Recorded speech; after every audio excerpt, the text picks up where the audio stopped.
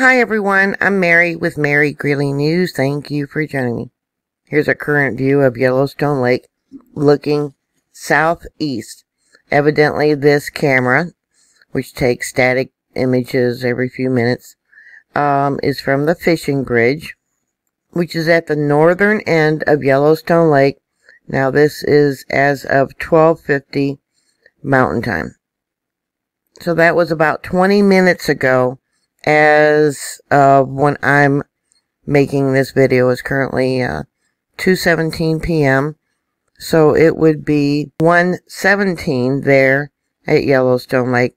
And I've been watching for about an hour uh, the lake because there's been lots of activity that started up, oh, probably an hour ago. And I was watching all this coming in. This here is the borehole for Yellowstone Lake. This here is for West Thumb or Little West Thumb. And this one here on the right is the promontory.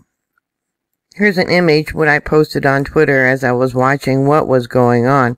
Each red line would be an indication of an earthquake that the computer picked up, sent a message to the geologist to check out what's going on. I'm sure they've been watching it too. So I started collecting images as they came in of Yellowstone Lake, and here's Yellowstone Lake as of 1125. And we'll pull it over. And the reason I started doing that is currently the lake is frozen. And I was looking for signs of melt. And that's what we got here. So this is up by the fishing bridge looking southeast. Um, okay, 1250. And this one here is 1125. I'll make it bigger. You can see here earlier, the uh, lake was still pretty frozen compared to what it's doing right now. Let's see if I can refresh this. Nope, still shows the same time. This here was probably the most significant earthquake that came in at 640 Universal Time. And that would be earlier today.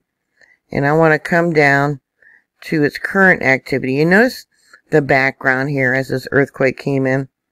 Oh, it's dark blue, which means it's cold. So here we have it where this magma that started coming into the system first started happening. And notice the background changed here. And over here. And down here. Then we had this earthquake over here. This here is the promontory. Okay, let me take it over to this one for the promontory. And right there. Okay, we got uh, the borehole for Yellowstone Lake, which is at the northern end of the lake. We got uh, Little West Thumb. I've talked a lot about that. That's near Grant, and currently that monitor is not working. And then the promontory. Alright, so I had a pause because I had a house full of people for Easter, all the grandkids. And looks like we got some melt throughout here now. Um, 1335. It's currently 3.48 p.m. Central Daylight Time. Tilt meter for the Norris Geyser Basin area. Borehole 205. You can see around the 30th, 31st, we had a drop and then came back up. Lots of dots means lots of earthquakes. And this is for the last week. And then, yep, magma under the ground flowing east, but the ground is rising in the west. And then for the last 30 days, yep, and I've talked about this, the darker the color, more recent it is. And then the lighter the color. And I talked about how it's been changing direction there. The flow of the magma under the ground and the uplift of the ground also. Madison River area for the last seven days. Yeah, look at that. Flow of the magma under the ground going east and the uplift has changed uh, more in a north upright right there in the middle of the disk direction. And then the last 30 days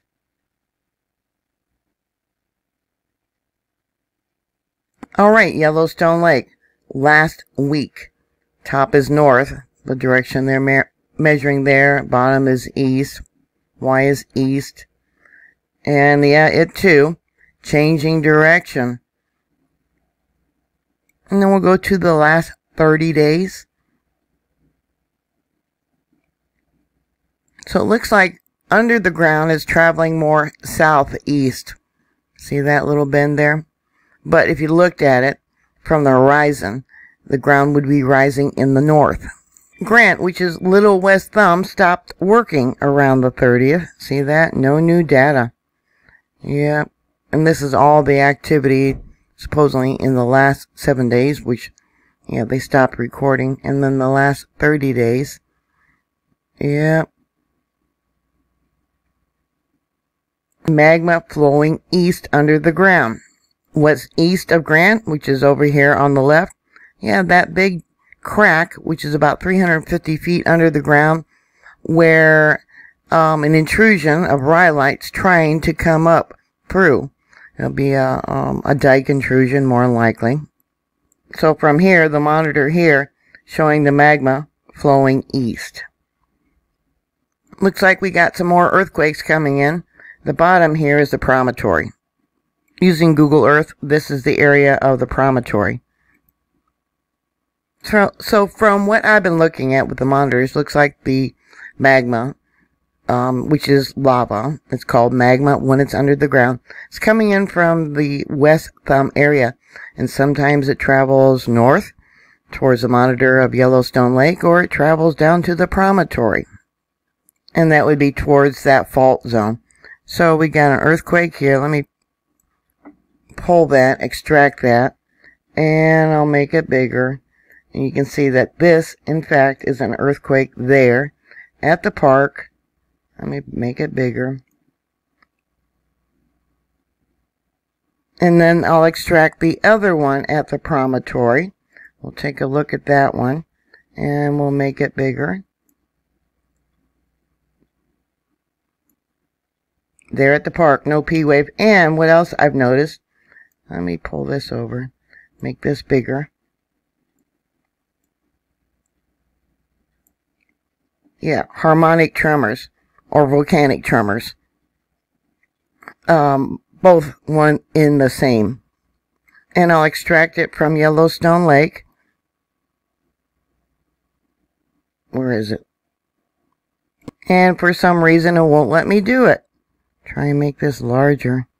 Yeah, it won't pull the data. What's going on there? So I went back another two hours. This is when all that activity there at Yellowstone Lake started up. And I'll pull this over for you. And then I'll bring it down. And then we'll go back another four hours.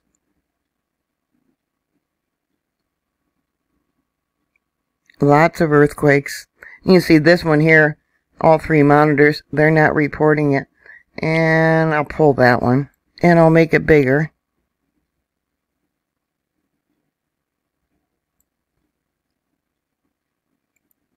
That's from Yellowstone Lake. Here we have that same earthquake from West Thumb. I'll make it bigger. So this was at the park, and there's more over here. And this is that same earthquake from the promontory. And we'll make it bigger. Going back another four hours, here you can see Yellowstone Lake, the promontory. Look how thick that is. And at the bottom, the promontory. There's that earthquake I just got through pulling. There also was a series of two earthquakes at the uh, park there at the lake.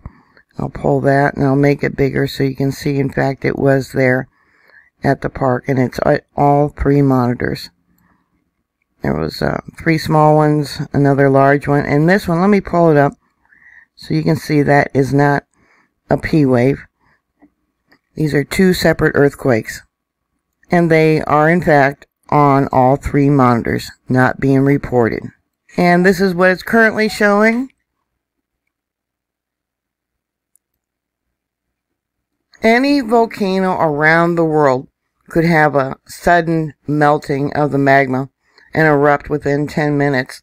So when I had seen this data earlier, it was like an oh my gosh moment. I was definitely keeping an eye on what was going on. Yep, things are on the move there at Yellowstone. So that's all I have for you right now. Any thoughts or comments or questions, please put it down below. Thank you for watching. Please stay safe, and I will talk to you later. God bless you all. Bye.